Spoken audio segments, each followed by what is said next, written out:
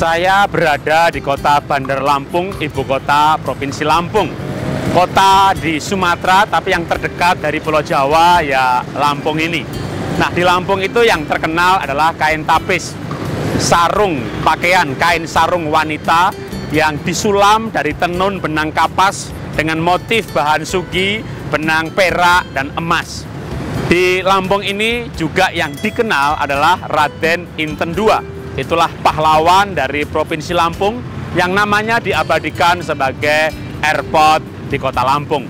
Raden Inten II dilahirkan di Lampung yang disebut dengan kota gajah juga ya, tahun 1834. Saat usia 16 tahun beliau sudah dinobatkan sebagai penguasa negara ratu yang saat itu dikuasai sebagian oleh Belanda. Walaupun ayah Raden Inten II yang bernama Raden Imba Kusuma itu dibuang ke Pulau Timor oleh Belanda, namun beliau tidak traumatik. Justru dia mengobarkan semangat rakyat untuk menentang Belanda. Tahun 1851 Belanda ingin menguasai negara ratu atau Lampung ini. Dia mengajak Raden Inten untuk berdamai namun Raden Inten II mencium bahwa Belanda ini licik. Dia diajak berdamai, tapi di sisi yang lain Belanda menghasut penguasa-penguasa daerah lainnya untuk memusuhi Raden Inten II. Karena itu dia membangun benteng-benteng pertahanan, memperkuat pasukannya, lalu menyerang pasukan Belanda. Tahun 1856, Belanda mendatangkan tentara dari Batavia Raden Inten II diserang besar-besaran, lalu menduduki beberapa benteng pertahanan Raden Inten. Kekuatan Raden Inten II berkurang karena pembantu utamanya ditangkapin dan banyak yang gugur.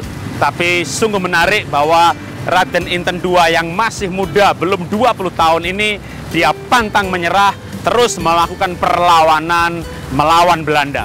Belanda akhirnya mengajak Raden ngerapat untuk bekerja sama membujuk Raden Inten II untuk berunding. Saat berunding itulah Belanda dengan licik menyerang dengan mendadak Raden Inten II. Raden Inten melakukan perlawanan yang sengit, namun karena mendadak dan tidak seimbang, beliau meninggal pada usia 22 tahun. Raden Inten II wafat di usia 22 tahun masih sangat muda. Karena memang hidup ini bukan seberapa lama kita hidup tapi seberapa kita berdampak. Bukan seberapa kaya tapi seberapa menjadi berkat. Saya sendiri usia saya hari ini hampir 50 tahun. Dan beberapa teman seangkatan saya saya terkejut. Mereka sudah meninggal. Itulah sebabnya. Untuk sisa hidup saya saya nggak tahu kalau masih lama lagi saya bersyukur. Tapi saya tidak tahu kapan saya akan mati dan saya akan menggunakan sisa waktu yang ada dengan semangat untuk berdampak. Itulah sebabnya kenapa saya begitu bersemangat keliling Indonesia untuk mengadakan roadshow seminar parenting. Kenapa? Saya mau berdampak. Melalui PT Happy Holy Kid, kami membayar kerugian tahun demi tahun. Kami tidak menyerah. Kenapa? Melalui Happy Holy Kid, kami mau berdampak bagi bangsa ini menanam nilai-nilai moral, karakter, kebangsaan kepada anak-anak Indonesia lewat produk dan karya-karya Happy Holy Kid, baik itu lagu, film anak-anak, buku cerita, dan berbagai produk media lainnya, karena melalui media anak-anak dibangun dan diwarnai.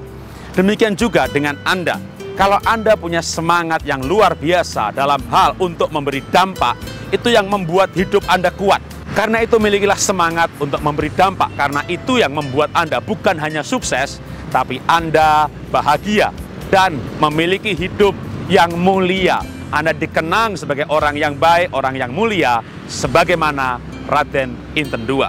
Itulah inspirasi yang saya gali dan saya sampaikan langsung dari Bandar Lampung. Salam dahsyat, luar biasa.